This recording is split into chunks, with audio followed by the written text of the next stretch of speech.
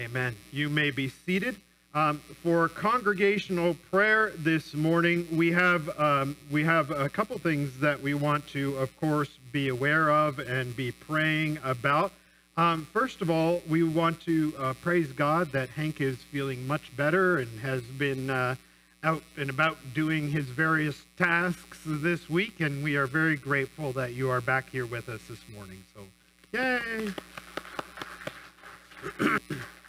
Um, so, yeah, we are very grateful for that. Also, in terms of congregational prayer, uh, we want to pray very much for all of those who have been affected by the uh, the the storm that we had uh, yesterday, just so violently and quickly. Um, I understand that four people throughout the the province passed away uh, because of it, um, but also lots and lots of damage to homes and businesses and uh, so on. So, um, yeah, we'll be in prayer for that as well. Also, our offering for this morning is for uh, for True North Aid. Um, so, Chris's brother uh, Ken works for True North Aid, and uh, they they bring uh, humanitarian relief uh, and help to those who are uh, in the north of our country.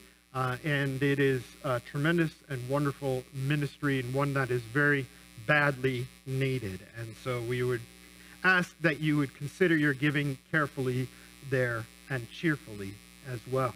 So the way it's going to work is we're going to have congregational prayer, then a children's message briefly, and then we'll send the kids off for Sunday school and collect the offering.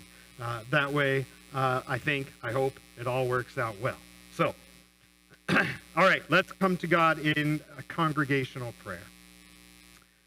Father in heaven, we thank you again so much for bringing us together.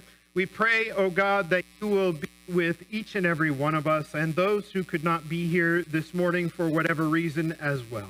We pray that all of us in this world to come constantly closer to you. The message of the gospel through your great love.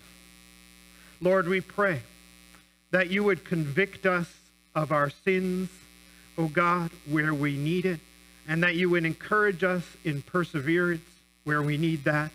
Lord, we pray that your holiness and your righteousness and your mercy and love would accompany us all the days of our lives.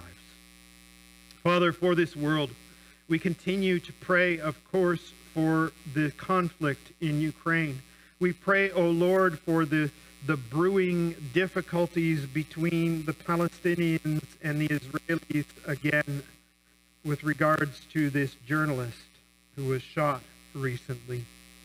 We pray, oh God, for the many people who suffered losses throughout this the past storm that we had just yesterday, oh God, whether they be property losses or damage or whether they be loss of lives.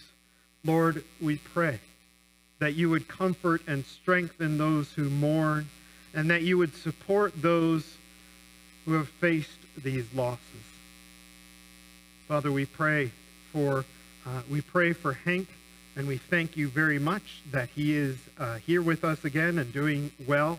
We pray, O oh God, not only, of course, for him, but for all of those among us who either struggle with heat or who are struggling with chronic illness or who struggle with just life circumstances. Um, Lord, we pray that you would encourage and strengthen us. Help us, O oh God, to take care of ourselves as we ought, which is sometimes very difficult. Lord, we pray too that you will be with our children as they head off in a few minutes to Sunday school. We pray that you will bless them there, bless our teachers as they lead that group. And Lord, we pray too that you will be with True North Aid we thank you so much for the work that Ken and the others involved in that ministry are able to do. Lord, we pray that this ministry, along with many others, would also help to bring reconciliation between Indigenous and First Nations and Inuit peoples and, uh, and other Canadians. Lord, we pray. We pray too that you would guide us as we come in your scriptures to the sermon. Lord, we pray that you would open up our hearts there as well, that we would hear what you would have us hear. In Jesus' name we pray. Amen.